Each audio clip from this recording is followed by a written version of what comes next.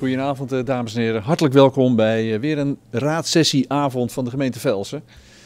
We hebben vanavond eh, drie sessies en ik neem ze kort met u door. Het eerste is de aanpak van de drugsoverlast. Ehm, dat had altijd wel een aanpak en heeft altijd aandacht in de gemeente Velsen. Maar er wordt nu een stap gemaakt naar een integrale aanpak waar heel veel partijen bij betrokken zijn. Van zorg, welzijn, veiligheid, maar ook het onderwijs. Ehm, we hebben daar een film van Sabrina Koster.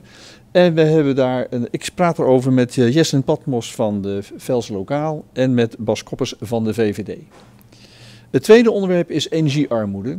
Uh, ja, de energieprijzen blijven toch eigenlijk hoog. Hè? Je denkt het is tijdelijk, maar nee, dit blijft toch wel permanent. Dus mensen helpen om die, zeg maar de hoge kosten te besparen.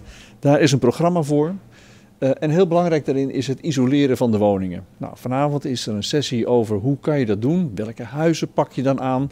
Um, nou, en heel specifiek, ik kan het alvast verklappen, de vleermuis krijgt daar ook een specifieke aandacht. Ik praat erover met Arjen Uitendaal van D66 en Frank Cornet van de ChristenUnie. Het derde onderwerp dat gaat over welke afspraken maakt de gemeente nou met de woningbouwcorporaties. Dat noem je de zogenaamde prestatieafspraken. Dat gaat over aan wie uh, wijs je een woning toe, uh, hoe ga je om met verduurzamingen van, uh, verduurzamen van woningen. Allemaal afspraken. Elk jaar wordt het vastgelegd en vanavond wordt de raad even meegenomen in de afspraken zoals die het afgelopen periode was en wat daar allemaal uitgekomen is. En de raad adviseert richting de wethouder wat hij het volgend jaar zou kunnen opnemen in die afspraken. Ik praat erover met Onika Pinkes van de Partij van de Arbeid.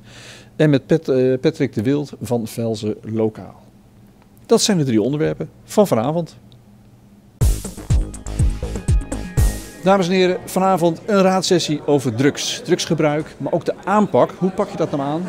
Ik hoor de burgemeester wel eens zeggen, het is dweilen met de kraan open. Want ja, drugs zie je overal, ook heel vaak onzichtbaar gebruik. Hoe pak je dat aan? Nou, dat wil het Velsen toch heel graag doen. Daar praat ik over met uh, Jesse Patmos van Velsen Lokaal en Bas Koppers van de VVD. Een hele sessie over de integrale aanpak. Alsof we dat niet eerst al deden, Jesle. Waarom dan nu opeens dat accent op integraal? Ja, integraal is uh, een woord dat we steeds vaker horen in ja. de gemeente. Het uh, gaat eigenlijk eerder over uh, alle partijen goed verbinden, een netwerk maken. En nou ja, wat er nu naar voren kwam is dat de gemeente is eigenlijk nu wel, die gaat nu wel leiden. Maar uiteindelijk willen we naar een systeem waarin partijen onderling met elkaar kunnen praten en op elkaar kunnen terugvallen. Dus ik denk dat dat uh, het cruciale verschil het cruciaal is. is. Laten we even kijken, want mevrouw Staats van het CDA die zei iets ook van met welke partijen zijn dat dan? Dat hebben we even opgenomen, dus laten we even kijken. Ja, dank u wel, voorzitter. Er werd steeds gesproken over de partijen. Um, ik ben echt benieuwd van welke partijen wordt er nu over gesproken, aan wie wordt gedacht, zodat ik een beetje beeld krijg uh, hoe, uh, hoe het aangepakt zou kunnen gaan worden. Ja, eigenlijk zijn die partijen, we richten ons natuurlijk op drie pijlers. Uh, de politie is onder andere een hele belangrijke partij in de wijkagenten. Uh, maar het gaat ook om het jongerenwerk, de straathoekwerkers, echt de, de, de, verbindende, zichtbare partijen in de wijk. Dus ook de, de wijkverbinders die gestart zijn in de gemeente. maar het gaat ook om zorgaanbieders, het gaat om de verslavingszorg. Maar het gaat ook om de samenwerking met ja, de private partijen. Dus bijvoorbeeld ondernemers. Werk, bij de werkconferentie waren ook uh, horeca-ondernemers en uh, hotelondernemers wel aanwezig. Maar het gaat ook om partijen in het voorliggende veld. Dus het gaat ook om sport. Het gaat om cultuur. Uh, het gaat eigenlijk om iedereen die verbinding kan maken met, met inwoners. Maar ook een ieder die bijvoorbeeld last ervaart. Bijvoorbeeld in het woondomein met woningcorporaties dat zijn eigenlijk een beetje de partijen die we, waarmee we nu de gesprekken aan het voeren zijn. Heel veel partijen. Het is echt ongelooflijk. Het gaat over veiligheid, denk maar aan politie. Het gaat over de zorg, het gaat over gezondheid, het gaat over woonproblematieken. En later in het gesprek kwam ook de onderwijs, het onderwijs nog terug. Bas, integraal is ook wel heel super complex. Hoe weet je nou dat je het goede doet? Ja, dat was ook een van de vragen die ik stelde. Van, van hoe kunnen we nou het meer, uh, ja, toch nou, meetbaar, ja, het gaat dan gelijk in getallen voor je gevoel. Dat, dat, dat dilemma leg ik ook op tafel. Heb je het dan over getallen? Nee, het gaat niet over getallen. Wat ik wel heel interessant vond, dat het ging over kwalitatieve data. Dus dat eigenlijk deskundigen aangeven wanneer zij zien dat er voortgang is geboekt. En dat vond ik wel een mooie opbrengst van deze sessie. Dat er dus ook echt gekeken gaat worden. Haal bij de deskundigen op. Al die netwerken, onderwijs, eh, de, de, de jeugdboa's. Iedereen heeft wel eh, een gevoel bij wanneer het echt uh, resultaten gaat uh, opleveren, die integrale aanpak. Ja. Nou ja, breng dat dan in beeld. Dus we krijgen in een volgende sessie, uh, daar komen we daar weer op terug. Ja, dat was een beetje apart. Hè? De, bij, de start van de sessie bleek dat een aantal uh, partijen heel graag hadden willen zijn en iets hadden willen vertellen, maar die waren er niet. Dus jullie hebben ingestemd met een soort van knip, hè, dat het deel 1, deel 2. Um, ehm, ik begreep dat er een soort aanpak is van een derde kijken naar preventie, dus ja, gewoon voorkomen. Dan zijn er toch mensen die het gewoon doen. Dat wil je aanpakken. Uh, en mensen die het heel erg uh, nou ja, standvastig blijven doen, die moet je repressie, hè, die moet je als het ware echt zwaar aanpakken. Um, het was niet helemaal duidelijk wat nou, wat nou de focus krijgt de komende tijd, uh, Jeslin. Wat, wat is jouw eigen verwachting qua focus? Wat zou je graag willen aanpakken? Ja, ik denk uh, de verwachting is eigenlijk dat het repressie uh, uh, kleiner gaat worden. En ze willen het ook denk ik zo klein mogelijk houden, want, ja. want daar ligt niet de kern. De kern ligt eigenlijk bij, bij het begin. Ja. Wie doen het? Wanneer is het problematisch? En ook ja, wie, wie raakt eigenlijk verstrengeld in die criminaliteit? En ja, om nou slachtoffers eigenlijk daarvan meteen in een soort van repressiehoek te laten zitten, dat, dat, dat wordt niet de focus, denk dat ik. Dat wordt dus niet de focus. Ik denk dat ze eerder bij de eerste twee gaan kijken. Dat ze daar gaan kijken. Verleden jaar was dit onderwerp ook eh, zeg maar, eh, werd, is besproken in een van de sessies. En toen hebben we een interview gehouden met Alex van der Molen. Hij is voorzitter van het wijkplatform Zee en Duinwijk. En nou, hij maakt zich zorgen en hij heeft een, een eigen kijk op hoe je drugsproblematiek zou kunnen aanpakken. Laten we gewoon even kijken. Vanavond spreekt de gemeenteraad over een integrale drugsaanpak. Ruim een jaar geleden spraken we Alex van der Molen van Platform Zee en Duinwijk ook over dit onderwerp. Kijk, mensen zien natuurlijk op bepaalde plekken dat er gedeeld wordt. Dan komt er een luxe auto voorrijden en kort daarna een scootertje en dan worden de spullen overhandigd. En dat geeft een heel vervelend gevoel bij mensen. Uh, ze willen eigenlijk niet gezien worden, want ja, ze zijn toch bang en angstig ook. Uh, dat ze onder druk worden gezet hè, als ze informatie zouden geven. Ja, en dat soort gevoelens, uh, maar ook overlast in flats. Hè, dat er achter de voordeur gehandeld wordt. En dat mensen half in de nacht wakker worden door een moer omdat er een dealer staat met spul. De grootste zorg bij mensen is als het gaat om overlast dat ook de jeugd hè, uh, ja, in, in het vangnet komt van de drugscriminelen. En ja, dat is natuurlijk een hele zorgelijke zaak, want eenmaal in dat vangnet blijkt ook dat het heel moeilijk is om eruit te komen. Het wijkplatform ziet de sociale achtergrond van de wijk als een belangrijke oorzaak van deze ontwikkelingen. De onderliggende problemen die wij heel nadrukkelijk ook zien en waar we ook aandacht voor vragen van de gemeenteraad, is, uh, is de armoede bij bepaalde gezinnen. De verpaupering ook die je ziet hè, in die bepaalde wijken waar mensen wonen met beperkingen. Uh, en ja, wij vinden dat een hele, hele vervelende zaak. Want zo'n hele wijk uh, leidt er ook onder. Hè? Maar het gaat met name om de mensen, en met name de kinderen ook, hè? dat die geholpen worden. En wij zeggen gewoon die armoede moet centraal staan. Maar dat betekent ook werkeloosheid die hoog is onder bepaalde groepen. 50, 60, 70 procent. Hè? Mensen die gewoon niet aan de bak komen. En, dat, en dus niet hun eigen inkomen kunnen verdienen en afhankelijk zijn voor jaren van een uitkering. Ja, en ja, we hebben de indruk dat ja, de politiek die mensen bijna heeft afgegeven. Dit is een breed en complex probleem. Omdat er zoveel verschillende partijen en onderdelen in de problematiek zitten, werkt de gemeente aan een integraal beleidsplan om dit aan te pakken. Uh, wij vinden ook dat je alle partijen erbij moet betrekken. Uh, dus ook de scholen, maar ook de marechaussee, wijkagenten, uh, de politie, woningcorporaties. En wij zeggen eigenlijk, verzamel al die informatie en die data die nu beschikbaar is. En zet het ook gezamenlijk met de betrokken partijen in een beleidsplan. Dus heel nadrukkelijk dat alle partijen erbij betrokken zijn en de linkerhand weet wat de rechterhand doet. En volgens het platform is het heel belangrijk om hier bewoners bij te betrekken. Integraal beleidsplan ligt, moet die ook zichtbaar zijn voor alle partijen. Dus een bewoner moet ook kunnen zien wat zijn nou de afspraken die dit college heeft gemaakt. En dat we jaarlijks kijken wat het jaarplan is en in hoeverre het wel of niet bijgesteld moet worden. En op het moment dat we die afspraak hebben gemaakt en het ligt vast in een, eh, in een integraal beleidsplan, dan willen we ook graag betrokken worden bij het maken van de jaarplannen. En dan denk ik dat de mensen ook een goed gevoel hebben, de gemeente doet iets aan de probleem. En nu hebben we vaak het gevoel, ja het is hap, snap beleid en onvoldoende gedegen aanpak. Inmiddels heeft de Raad dit jaar extra geld vrijgemaakt om hiermee aan de slag te gaan. Ook is er in juni een werkconferentie georganiseerd met de belangrijkste betrokken partijen.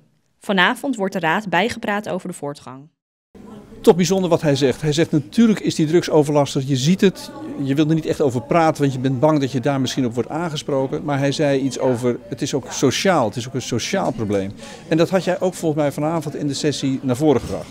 Ja, dat Kun je is daar echt, wat over zeggen? Dat is echt mijn kijk erop. Eh, we hebben het nu vaak gehad over, eh, nou ja, wat als je in de shit zit. En eh, eh, ja, drugs kan daarbij iets eh, verdovend zijn of, of, laagdrempelen tot, tot eigenlijk het voorkomen van die problemen. Ja, Daar ligt hem een beetje. Ja, je, je zit in de shit. je sprak over eenzaamheid hè, bijvoorbeeld. Ja, eenzaamheid, isolement, alles komt erbij kijken. Dat je, dat je geen huis kan krijgen. Dat zijn gewoon allemaal dingen die gewoon echt op dit moment voor mijn doelgroep in ieder geval best wel moeilijk zijn. En daar eh, ja, kan soms een bepaalde kwetsbaarheid in zitten. Ik heb het ook over weerbaarheid gehad. Ja. Eh, hoe gaan we daarmee om? Hoe ga je met je emoties om? Dat is gewoon iets wat onlosmakelijk daaraan verbonden Ja, zit. precies. Die sociale context.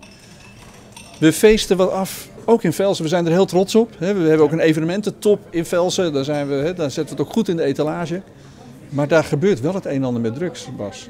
Is, dat, is dat nog in de hand te houden? Of is dat gewoon het nieuwe normaal? Nou ja, wij hebben even in de zijlijn van dit, eh, dit gesprek eh, daarover gehad. Eh het is best een, een probleem waarvan je ook het gevoel dweilen met de kraan open krijgt. Ja. En tegelijkertijd is dat denk ik ook niet wat wij in Velsen op ons op gaan focussen.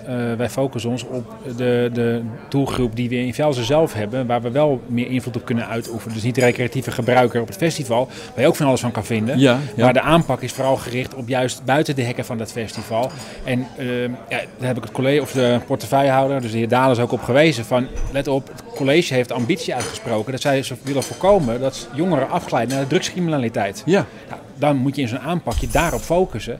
En gaat de aanpak nog niet over, we willen op Dance Valley eh, de helft minder Nee, drugsgebruikers. precies. Nee, nee, nee. Terwijl je wel weet dat het gebeurt. En dus daar kan je natuurlijk van alles van vinden. Maar in die aanpak richten we ons echt op onze eigen samenleving. Eigen samenleving. En het, juist die wijken waar het in gebeurt. Waar het dan gebeurt. Ja. Er werd gesproken door, eh, we hebben nu iemand, eh, zeg maar, er is een ambtenaar, mevrouw Klint, die pakt het nu aan, hè, die komt die integrale aanpak. Eh, en zij sprak over buikpijn. Ze vraagt aan iedereen, waar krijg je buikpijn van als je praat over de drugsproblematiek? En dat werd haar ook gevraagd, waar krijg je buikpijn van? Laten we even kijken wat ze daarvan zegt. Nou, in antwoord eh, op uw eh, eerste vraag zit mijn buikpijn voor deze gemeente. ehm, nou ja, de gemeente Vels is in die zin natuurlijk een, een, heeft een hele interessante ligging als het gaat om, om de haven. Dus eh, ja, je zou zeggen, daar, eh, dat is een kwetsbaar punt, ook omdat daar heel veel drugs binnen kan komen. Maar ik zie op het gebied van eh, jeugd, maak ik me af en toe wel een zorgen over, het, over het drugsgebruik, over het experimenteren. En of we wel grip kunnen krijgen, ook wel als overheid, op die trend. dat het steeds normaler is, inderdaad, om drugs te gebruiken. En ook als je het nieuws leest, dat het steeds op jongere leeftijd. ehm, dat jongeren ja, in de criminaliteit belanden of een drug, in, in de drugshandel belanden. Ja, dat zijn. Dat zijn dingen waar ik me wel echt eh, zorgen om maak. En dat zijn ook wel dingen die ook hier in Velsen natuurlijk actueel zijn. Ze zei iets over de havens, maar vooral ook over de jeugd. Hè, dat, het, dat nieuwe normaal ook. Jij staat er niet van te kijken, misschien? Nee, ik herken het heel erg. Ik, Ja. ja, ik, ik merk het bij mij ook. En eigenlijk ook niet alleen jongeren. Ik zie het eigenlijk ook in de doelgroep 25, 35. Ja. Dat daar is het, speelt het ook gewoon enorm. En eh, ja, wat we het over hebben, over het recreatief gebruik, daar mag je natuurlijk van alles van vinden. Maar het gaat echt in combinatie met die eenzaamheid, eh, alle negatieve gedachten die je erbij hebt. En dat je dus ook door de wachtlijsten daar geen hulp op kan krijgen. Nee, precies. En dat, her- dat, ja, dat herken ik enorm. precies. En die combinatie met alcohol. Het werd door een aantal raadsleden gezegd. Apart, hè? We hebben het hier nu over drugs. eh, en die Ja. alcohol is eigenlijk toch ook een druk. Ja, de samenleving verandert. En je ziet ook dat het perspectief op alcohol ook aan het veranderen is. Sigaretten natuurlijk. Eh, dat, dat neigt ook een beetje die hoek in te gaan. Uh, Maar ja, dat is nog gewoon nog niet zo ver. En we hebben onze handen vol aan, aan de, de echt nog één stapje verder. Dus echt drugscriminaliteit en drugsgebruik. Ja. niet over een glaasje uh, bier waar je, nou ja, die voor nog onder gezelligheid valt. Ja. Maar echt over, uh, nou ja, dit soort middelen die in grote aantallen gebruiken en echt tot overlast leiden en tot problematiek. Want dat is waar we ons op richten. Precies. Het, op, het verminderen of de aanpak van de problemen die het in de samenleving met zich meebrengt, die inderdaad heel breed zijn. Ja. ja, moet ik toegeven, ik heb het zelf ook ja, net uh, in de sessie ook gezegd. Ik denk dat het echt samenhangt. Alcoholmisbruik, uh, drugsmisbruik. Het, hoort, het ja. hoort echt bij elkaar. Ja. En we hebben het dan ook niet zo vaak ook over alcoholoverlast. Maar daar is ook echt heel veel aan de hand. En dan gaat het niet om dealen, maar dan gaat het echt over uh, de problemen op straat. Het beeld ervan, een gevoel van onveiligheid. Dat, ja, het, het hangt echt samen. Het hangt samen. Er komt ja. een integrale aanpak. Mevrouw Klint werkt eraan de, voor de gemeente. Uh, jij zei, geef ze vertrouwen. Geef die groep die eraan werkt vertrouwen. Was, jij zei wat op die indicatoren, je zei er net wat van. Uh, zij gaat nu door. Er komt natuurlijk nog een tweede sessie. Ja, ik ben even benieuwd, wat verwachten jullie van die tweede sessie? En heb je toch wel vertrouwen in deze integrale aanpak? Pas eerst even jou. Ja, nou, ik heb daar vertrouwen in, omdat ik het gevoel kreeg dat ze in ieder geval iets uh, van een richting meegaven waar we zeggen van ja, we kunnen best wel gaan kijken of we iets zichtbaarder kunnen maken. Die oproep is ook echt door de raad gedaan, dus dan ja. mag je veronderstellen dat ze daarna gaan luisteren. Uh, dus ja, ik was in die zin wel tevreden dat in ieder geval dat ik niet te horen kreeg van het kan niet en dat moet niet. Nee, het was, nou weet je, het harde, meer Vonk uh, noemde dat KPI's, dat vind ik wel heel erg bedrijfsvoering. Ja. Maar het ging echt om van nou, wat kunnen wij nou voor gevoel iets tastbaarder maken Precies. wanneer we echt een effect zien van die aanpak. Ja, ja, ja. dat kan best inderdaad in een gewoon een gevoel zijn van een deskundige die zegt, nou, het ziet best wel veranderen. Net als dat uh, Jesslyn Patmos uh, hier naast me zegt van, ja, ik zie ook dingen gebeuren en die ja. ben ook dingen waar. Dus ook dat, iedereen neemt dingen waar en heeft ja. daar een opvatting over. Dus, ja. Dus je opmerking van geef ze vertrouwen gaf even reuring in het gezelschap. Ja. ja. Tevreden over hoe het uiteindelijk uh, afgelopen ja, is? Ja, ik ben, ik ben wel echt tevreden. En ik denk ook dat, ze, dat, dat, dat dat de projectleider en, en de heer Dalen echt allebei hebben laten zien hoe, hoe, ja, hoe het hun persoonlijk ook raakt. En ik ja. vond dat heel knap. En ook gewoon dat ze dus nu ja, de betrekking tot ouders. Ik vond dat ook echt heel belangrijk om te zien. Ja, daardoor ja. kreeg ik best wel vertrouwen. Nou, hartstikke goed. Dat is een hele mooie, ja, toch eigenlijk een begin van het gesprek. Hè. Er komt nog een uh, vervolg. De integrale aanpak uh, drugs, hè, voor de drugs hier in uh, Velsen. Dank jullie wel voor even deze terugblik op deel 1 van de sessie over, over drugs. Dank je wel. Dank je. Dames en heren, we hebben het afgelopen jaar toch zeker gemerkt dat energie en de kostprijs van energie, het loopt op en op. En als het duur wordt, heb je ook armoede. Energiearmoede is een begrip. Ik spreek ermee over met Arjen uh, Uitendaal van de D66 en Frank Cordet van de ChristenUnie. Energiearmoede. Ik dacht, we zijn het wel een beetje overheen, maar dat is helemaal niet waar. Arjen. Nee, ik vond het dat de wethouder wel aardig zei. Hè. Het is... Um, het, het, is eigenlijk acuut opgekomen, hè, de hoge energieprijzen. Ja. En dan komt ook bijna mensen die het minste draaglijk hebben, komt het hardste aan.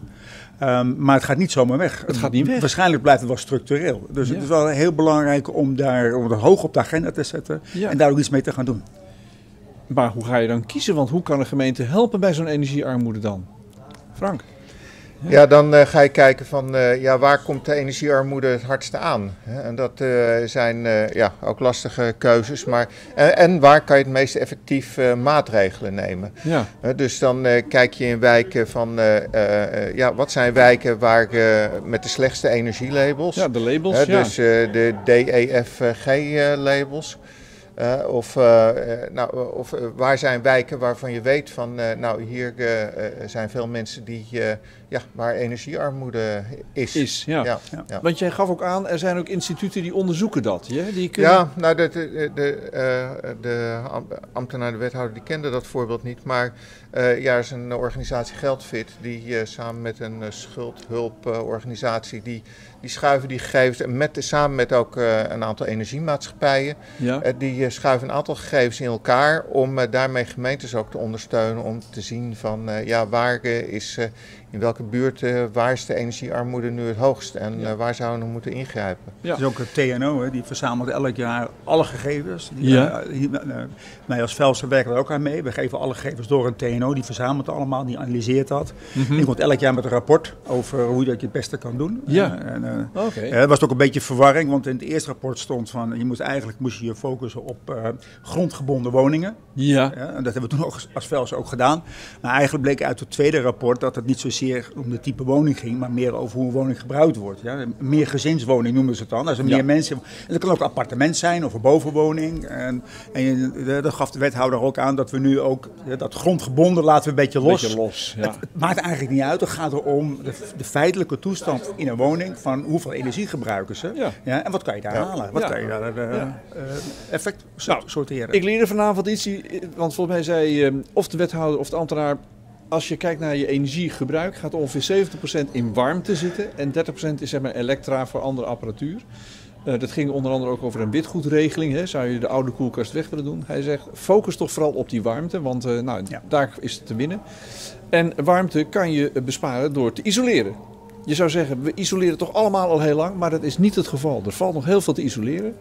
Ehm, ja, maar hoe ga je dat dan aanpakken? Er zijn mogelijkheden toe, er is ook subsidie voor, voor bepaalde huizen. Ja, en dan- kijk, er zijn iedere keer weer nieuwe subsidieregelingen. Dat is ook niet eenvoudig, hè, want sommige zijn tijdelijk. Dan komen er weer nieuwe. eh, eh, dan heb je wel, eh, veel mensen hebben daar wel ondersteuning bij nodig om te kunnen kijken van wat is nou voor mijn huis het meeste geschikt. Hè. Je kan je daar energiecoaches voor inzetten die je advies kunnen geven. Die hebben we in Velsen, energiecoach. Eh, ja, die hebben we in Velsen. Ja. Ja, Energiek Velsen levert die. En, eh, toevallig ook een keer bij mij thuis geweest. Nou, dat is heel nuttig. Ja, Ja. Want ze geven meteen aan van het laaghangend fruit. Dat kan je meteen doen. Ja, en ze, ze helpen je ook kijken naar zijn er wat, wat, wat grotere Ja, maatregelen. ja, Dus, eh, heel effectief. Heel, dat is Energiek Velsen. Daar stelde jij een vraag over, Frank. Want Energie Velsen lijkt, je was bang dat hij een beetje aan de kant Ja, gedrukt nou, zou worden. Ik, eh, eh, ik las dus eh, dat er een aanbesteding gaat plaatsvinden om partijen waarmee samengewerkt gaat worden, juist om die isolatiemaatregelen allemaal al te nemen. Ja. En ja, je, je merkt in de landen dat met name burgercoöperaties, eh, burgerinitiatieven en co- coöperaties zoals een, bijvoorbeeld een Energiek Velsen, dat die dan achter het net vissen om, ja, om allerlei redenen. Ja. Ehm, eh, maar terwijl je wel ziet dat juist zulke soort coöperaties eh, een, een, een veel grotere betrokkenheid hebben bij de inwoners, omdat ze de mensen kennen, ze wonen in de buurt. Ehm, dus eh, eh, nou, de- daarom vind ik het belangrijk dat zij wel eh, daarbij eh, betrokken zijn. Ja. En de wethouder had er ook een eh, antwoord op. eh, die zei van eh, ja, een, een, eh, bepaald bedrag, eh, 20% geloof ik, eh, van het bedrag eh, dat eh, eh, aanbesteed wordt, dat moet ook besteed worden in samenwerking met eh Energiek Velsen. Oké, dus dus die wordt lokale- daarbij betrokken om, lokale... om die lokale borging Precies. daarbij ook eh, te, eh, nou, dus dat was een hele geruststelling. Ja, dat was wel een van de dingen wat de wethouder zei. Was dat, eh, behalve dat je natuurlijk een risico van hebben we wel genoeg vakmensen om het allemaal aan de gang te brengen. Is het ook Ja. van willen de mensen het wel en hoe ga je de mensen overtuigen? Nou, En zo is het Energiek Velsen. Ja, dat is dan een goed voorbeeld. Hè. Wij hebben ook de suggestie gedaan van eh, kan je geen eh, ambassadeurs gebruiken? Hè? We hebben allemaal iemand in de straat die, die altijd maar praat over zijn zonnepanelen en zijn boilertje. Die En heeft het en goed voor elkaar. En die, heeft, en die heeft eh, alles goed voor elkaar. Die heeft de subsidies uitgezocht. Nou, misschien kan zo iemand eh, ook eh, zijn buur enthousiast maken en op weg helpen. Precies. En kijken of die een soort olievlek kunnen krijgen. Ja, ja. we hebben het voorbeeld gehad in Vels over die groene daken. Nou. Dat kwam dus vanuit de bewoners, vanuit de straat. En die, en die gingen gewoon de buren langs. eh, wil je meedoen? Wil je meedoen? Nou. Dat is een groot succes geworden. Hartstikke leuk. Hartstikke leuk. Dus lokaal is natuurlijk heel belangrijk hoor. Hè? Dat motiveert eh, de buren, zullen we maar zeggen. Ja, is toch laagdrempeliger. Er kwam ook een beestje voorbij vliegen. De vleermuis. De vleermuis zit in de spouwmuur. Ja, en dan wil je ja. net gaan isoleren. Eh, en er werden vragen gesteld eh, aan de ambtenaar die zegt... eh, nou, hoe zit het nou precies met de vleermuis? Dus laten we even kijken wat hij daarover over zegt. Ehm, dan de vleermuizen. Vleermuizen zijn uiteraard beschermd.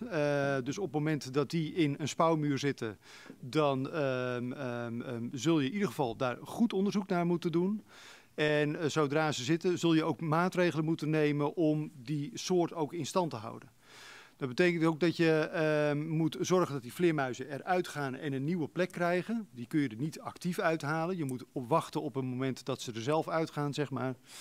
Ehm, en daar moet vervangende eh, ruimte voor worden geboden.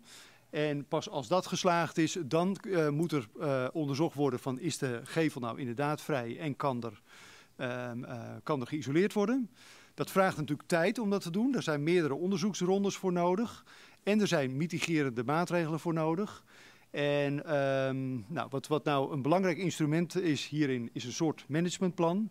Dat is een plan wat je, waarin je eigenlijk een, een tijdelijke ontheffing kunt aanvragen om um, hiermee aan de slag te gaan. Um, en dat is ook wat we, wat we gaan inzetten.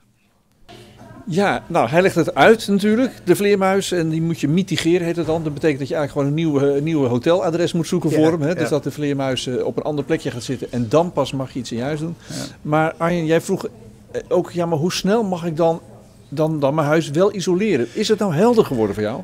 Nou, Kijk, je merkt wel, het is, natuurlijk recent is er een uitspraak geweest van de Raad van State. En die is behoorlijk beperkend voor het isoleren van spouwmuren. Ja. Als je dat zegt van nou, ik ga dat nu doen. Ja, dan, dan ja, Vereniging Eigen Huis heeft al gezegd van nou, dan branden we onze handen niet meer aan. We, onze, al onze leden gaan wij niet meer adviseren hierover. Nee. Ja, en dat, dat kan natuurlijk, uh, uh, dat is, dat is desastreus voor de isolatie. Dus ja. hoe kan je dat nou doen? En um, we, we vroegen ook aan die ambtenaar van, kan het dan allemaal sneller? Nou, je kan niet om die maatregelen heen. Nee, het is een dat, wet natuurbescherming, dus die, ja, dat beestje moet beschermd. Je... En uh, ja, er is wel een mogelijkheid, hè, en noem dat met een managementplan, waardoor je, de, de, waardoor je dan, als je die maatregelen hebt genomen, dat je dan niet nog een jaar hoeft te wachten okay. of alles goed gelukt is, maar dat je dan al aan de gang mag. Ja. Um, maar um, ja, het is wel allemaal natuurlijk vrij recent. Ja, uh, ja, ja, ja. En, we moeten, uh, en er is ook, wordt ook hulp gevraagd aan de provincie om hiermee ja. uh, aan de gang te gaan. Hè? Maar ik hoorde ook, kan de gemeente niet een wijk, na onderzoek natuurlijk, ja, hè? niet zomaar, maar na, na, onderzoek zeggen, deze wijk is vleermuis vrij, om het ja, zo dat zou wel mooi zijn. Dan weten alle buren. Als je, als je ecologen zegt van, nou jongens, in die wijk daar is een hele kleine kans dat er vleermuizen zijn. Maar ja, volgens de wethouder was dat, naar aanleiding van de uitspraak van de Raad van State, heel moeilijk. Is heel moeilijk. Per huis bekeken. En de wethouder is voorzichtig met de Raad van State uitspraken. Ja. Maar misschien terecht? Uh, uh, ja, ook, uh, de, ook terecht. Maar ja, ik, het is toch wel goed om hier nog verder te kijken ja. van ja. wat is hier nu wel mogelijk. Hè? Dat, ja. waarbij je ja, de, wel de uitspraken respecteert natuurlijk. Ja. Ik merk natuurlijk in, de, in zo'n sessie dat, nou ja, het maakt niet uit welke fractie je, je bent, maar uh, er is al vrij snel overeenstemming. Isoleren is gewoon goed. Uh, zoek naar die huizen met een laag energielabel, want dat, hè. Ja. Zoek ook naar, de, naar zeg maar, de mensen die het ook zelf inderdaad niet kunnen betalen. Um, maar toen kwam even aan de orde, er zijn voorbeelden dat mensen dan worden geholpen. Je, er komt materiaal in huis en dan kom je een jaar later en dan staat de doos met materiaal er nog.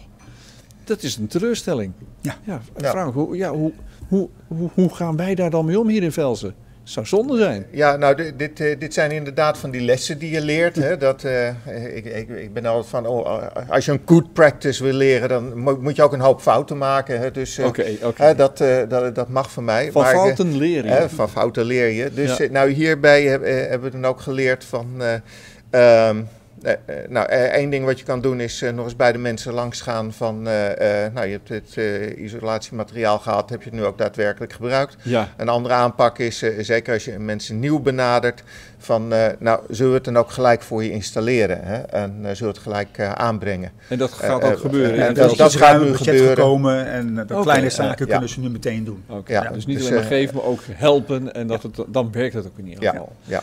Uh, hoe gaat dit nu verder? Want het, het, is, het, was een sessie om in ieder geval ook uh, elkaars beelden uit te wisselen.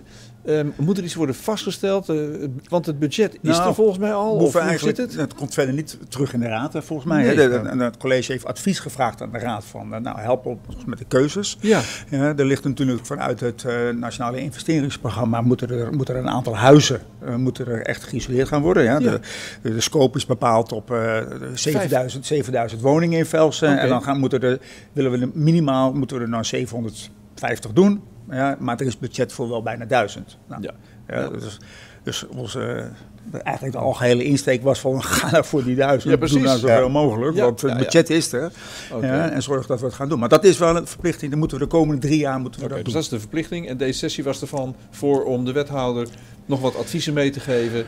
Uh, hoe hij het verder kan aanpakken. En, uh, en dat gaat hij dan doen. Ja, dus ja. hier is eigenlijk niet zo heel veel politieks aan. Nee. Uh, het is, we vinden allemaal de armoedebestrijding en, en de verduurzaming belangrijk. Het, hier komt dat samen. Je kan Ja. het geld dus eigenlijk twee keer gebruiken. Hè? Zowel voor de armoedebestrijding, maar ook voor de verduurzaming. Dus wat dat betreft is het een no-brainer. Is een mooie- ja, een moet, mooie je- moet je gewoon doen. Ja. Goed. en het eh, college zal ons op de hoogte houden, neem ik aan, eh, via collegeberichten. Van en hoeveel daar over, kunnen, eh, ja. kunnen we het eh, allemaal lezen, Ja. eh, van Ja, de hoe, voor- hoe het gaat. De wethouder had al een Ja. voorschot genomen van ja, maar als ik nou geld tekort kom, Dan, ja, mag, kan ik dan weer met Ja, dat, ja, dat, dat jij mag blanco check dat geven, vonden we net even iets, eh, iets te enthousiast. we- ga dan maar aan de gang. Ga die duizend woningen maar doen. Eerst dat maar. Ja. Ja. Hartstikke fijn. Fijn dat we even zo konden terugkijken naar deze sessie. Arjen Uitendaal van D66 en eh, Frank Cornet van de ChristenUnie. Dank jullie wel. Met Graag gedaan. Graag gedaan. Dames en heren, een heel boeiend onderwerp is natuurlijk huisvesting. In Velsen hebben we het heel graag over bouwen, bouwen, bouwen. Maar ook hoe zorgvuldig ga je om met de huizen die we gewoon hebben.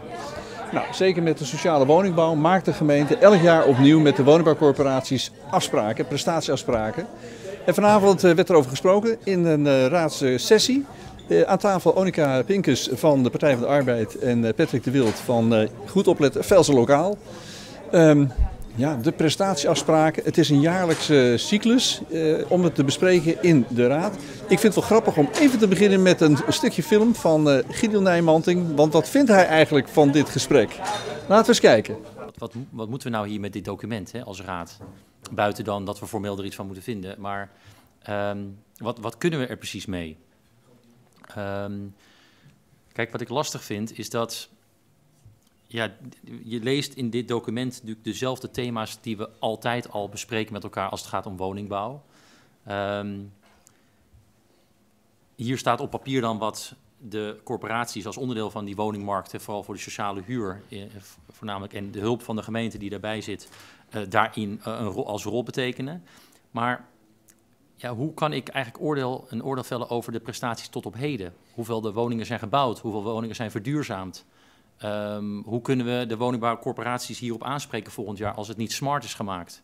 Ehm, eh, dus kijk, op zich is het goed dat, hè, zoals eh, meneer Raafstein het ook net aangaf, dat we blijkbaar met elkaar wel de discussie voeren hè, elk jaar op dit punt. Elkaar kunnen aanspreken op hoe we vinden dat dingen gaan.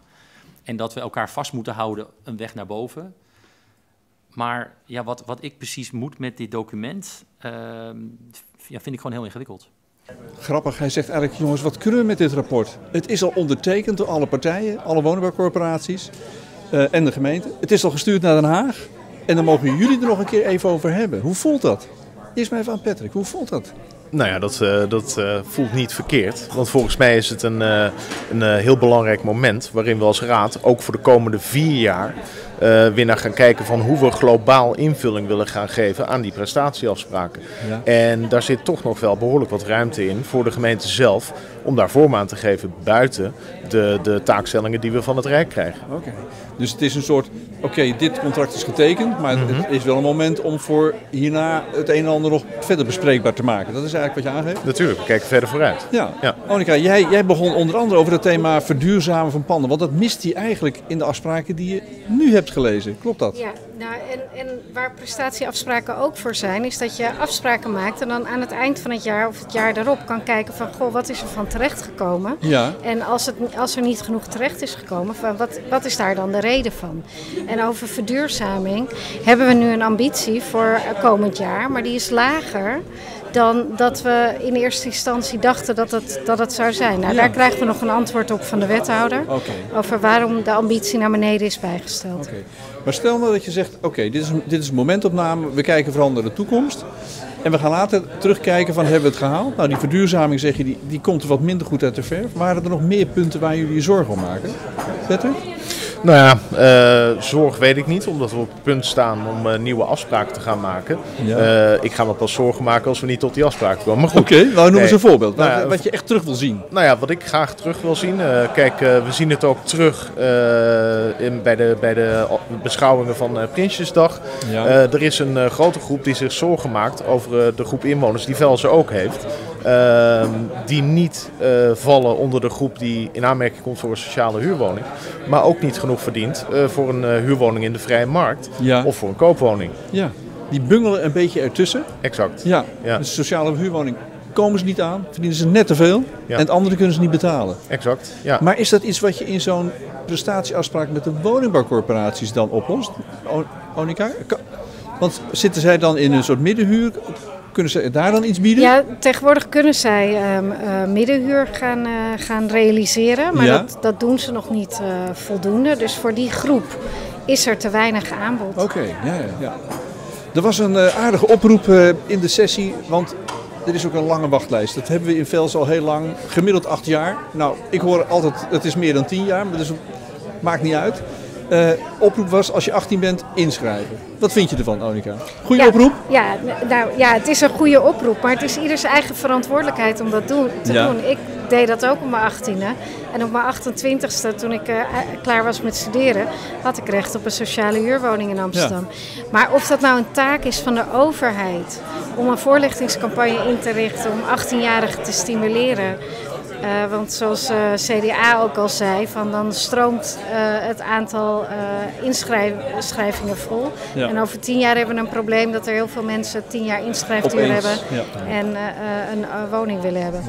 Een deel van het verhaal zit misschien ook in die, in die toewijzing. Hè? Dus, dus als je gewoon je wilt inschrijven, is, komt op de gewone wachtlijst. Er zijn mensen die krijgen voorrang, Patrick. Wat heb jij daar vanavond over gehoord? En, en... Eh, nou ja, we hebben eh, zelf als, eh, als inbreng gehad. We hebben natuurlijk ehm, eh, gezien hoe we ervoor staan in die trendmonitor. En ehm, nou ja, dat blijkt dat we bij bepaalde groepen, urgente groepen, urgent woningzoekenden, dat we nog langer niet aan de doelstelling zitten. Nou ja, doelstelling, eigenlijk norm waar we als gemeente aan moeten voldoen. Dus Ja. ik heb de vraag gesteld van, nou ja, hebben we die capaciteit? Hoe gaan we dat realiseren? En om eh, dat een, een, een beetje beeld bij te geven, nu zitten we bijvoorbeeld voor statushouders. In 22 waren er 68 plaatsen gerealiseerd. Ja. Volgens mij hebben we als eh, gemeente eh, een, een taak gekregen dat dat 200 zoveel moet zijn. Dus er zit nog heel veel ruimte zit tussen. een gat tussen. Exact. Dus ik maak me zorgen over van hoe gaan we dat als gemeente realiseren. En tegelijkertijd, ja, ik vind ook dat, er, dat, dat ondertussen de woonruimte voor de Velsenaren hard genoeg moet toenemen. Ja, ja, dus dat los je niet op met de huidige woningvoorraad. Nee. Dat is dan toch een Nee. oproep om toch weer te gaan bouwen, toch? Te gaan bouwen of eh, met flexwoningen. Of met flexwoningen, ja. Ja. Als laatste even het onderwerp leefbaarheid. Er werd een eh, aparte oproep gedaan. Er zijn bepaalde wijken, daar zou je wat meer aandacht aan kunnen besteden.